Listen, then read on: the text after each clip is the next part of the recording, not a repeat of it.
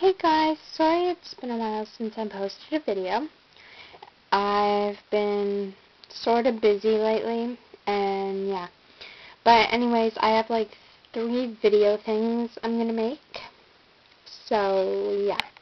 Anyways, this video is going to be my two new Webkinz from July. Because I got other new Webkinz too, but I don't remember like I know where they are and everything, but yeah. So anyways, and I logged these guys on already, so there's no tag on them or anything, but anyways, I'm just going to show them to you. So, yes. Okay. So I got the Pretty Panda, and its name's Pixie, and it's a girl. And then I got the Misty Puppy, and its name's Mist, and it's a boy.